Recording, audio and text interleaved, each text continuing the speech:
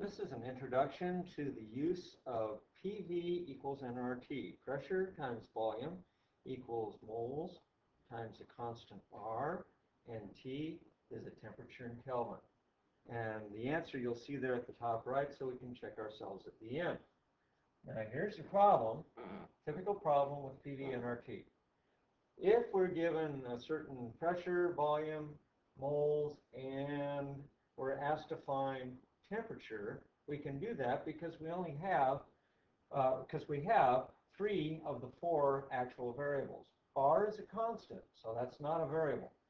And to figure out how to work with those, I wanted to take you over to my little uh, printed sheet that I give to my students. And here you'll be able to see gas law to use for problems with no changes in conditions. This is called the ideal gas law. And you might want to um, stop the video right now and get this information down because you, you want to have all of this. PVNRT, constant R, depends on the units of measure for variables. And here's your constant.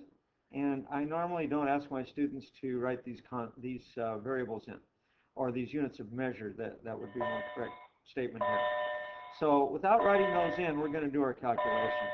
The units of measure must always be for volume, liters, for pressure, atmospheres, for N, that's got to be in moles, and T has got to be in kelvins. So if we're given uh, milliliters instead of liters, we have to convert before we can run this calculation. Same way with atmospheres. If we're given uh, 25 torrs and we're not given it in atmospheres, we've got to convert torrs to atmospheres. If we were given grams instead of moles, we would have to convert grams to moles. But you're going to see this all happen in our, our uh, second example, but not in the first one. And so here we have Kelvin as a unit of measure for temperature. If you're given centigrade, you got to get it into Kelvin by adding 273. Now down here you will see how to convert from any unit of pressure to any other unit of pressure. And so use that as a guide for yourself and let's move on. Let's go ahead and run this problem and here's how it works. We have given and find and you'll notice here that I've got a given of three atmospheres and volume of 2.60 liters in moles of 6.0, all of those are units that are acceptable for use in the PVNRT formula. And PVNRT, because it's very specific on the units of measure, when you use all of the units of measure that you see over here, then the answer that you're going to get will always be in Kelvin. So let's go ahead and run this. We first of all put in P, which is 3.00 atmospheres. I recommend you always write the unit of measure.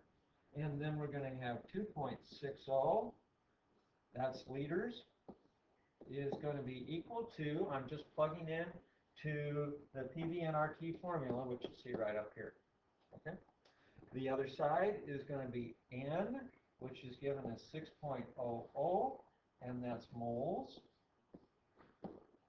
The R is always equal to 0.0821, and your last variable is T for temperature, and we just don't know that.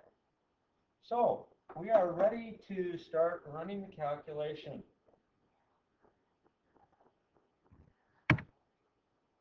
So as we continue here, you're going to see what I've done. I have divided both sides by these two numbers. And that will allow us to get rid of these and get rid of these guys. And on the other side, we have a calculation to do. Now, this is the way I recommend you do your calculations. And I'm going to set this calculator up as high as I can so it's next to the numbers we're working on. We're going to have to put in 3 for the 3.00 atmospheres. We're going to multiply that by 2. Point, whoops. We're going to multiply that by 2.6 for the 2.60 liters. Remember, the calculator doesn't care about sig figs. And now, the next one is not going to be a times. Don't do that. You're going to do divide. Divide tells the calculator the next number you're putting in is on the bottom of the fraction. And the next number I want to put in is this 6. So I'm going to put in the 6. And then the next number I'm going to put in is also on the bottom of the fraction. So I'm going to hit divide again and put in the 0.0821. I wrote that wrong. It should be 0.0821. Let's get that fixed. That's the decimal, and we'll get rid of this guy. Okay, so the decimal's really here.